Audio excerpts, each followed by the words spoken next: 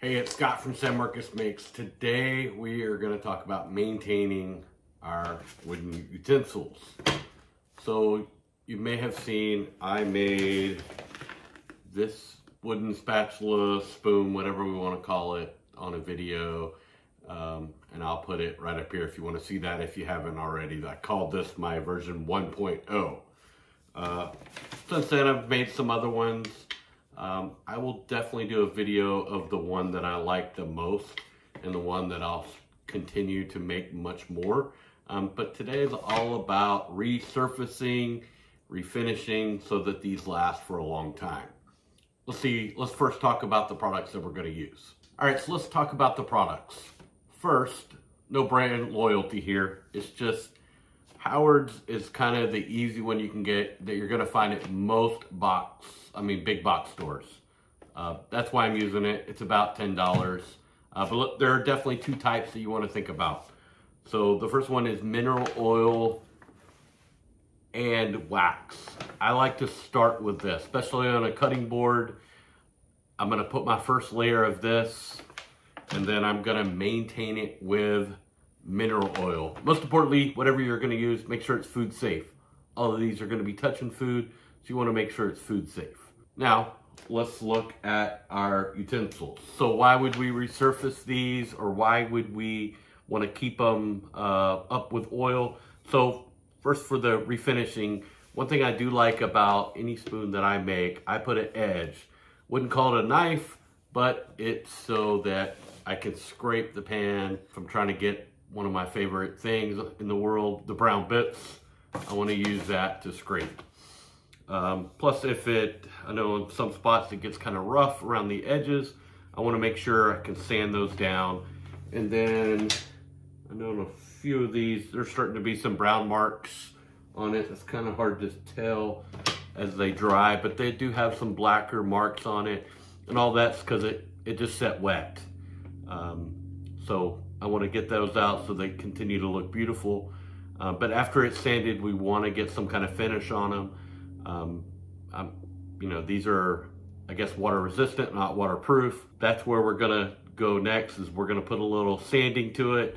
Uh, I'm gonna use a 120 just to break down under the edges. You gotta, of course, use move much more wood. You may want to uh, step up and then work your way down but I'm gonna end with a 220. All right, let's sand.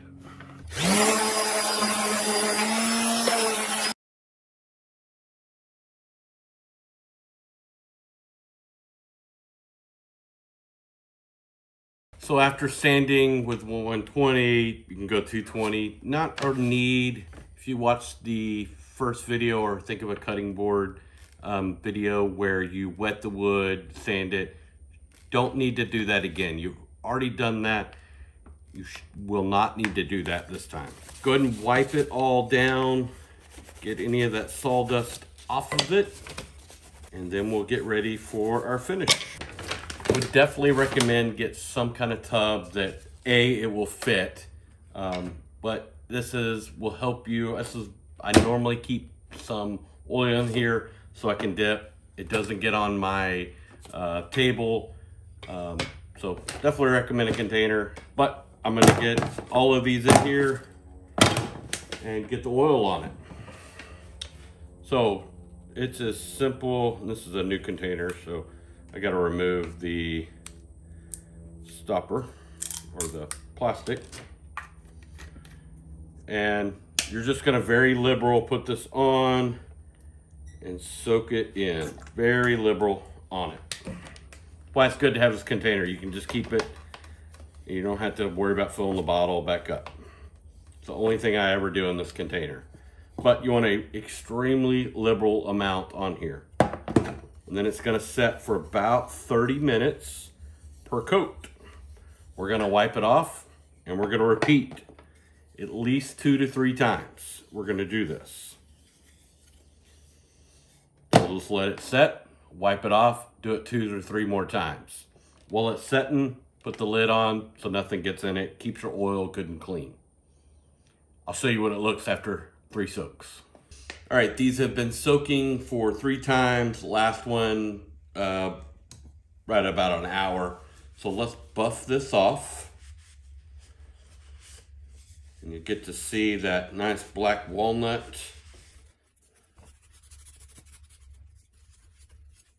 Yeah, very, very, very good. There you have it. Be ready to use. Get the last one done. All right, you can see the last one is done. And if that's not a reason to, that you should be using black walnut, look at how beautiful that has come out. Just love black walnut. One thing you'll always notice is the tips are gonna be black. This is from it cooking, think of it toasting, burning. Um, so you're not gonna get this probably all the way back to the normal color. No issues there. Um, you're still leaving a lot of oil, just keep kind of buffing it out. Um, but then they'll be good to go. All right, finished product. So hopefully you enjoyed it. Um, one thing to think about as this starts to look dry, every time you wash it, of course, never put these in the dishwasher, but every time you wash it, it's gonna get a little more dull and dull. When it looks dry, dry, dry, dry, it's time to do this. Um, all depending on how much you use it. Think anywhere from a month, six months, all gonna be dependent on how much you use it. Well, hope you enjoyed it. Have a good one.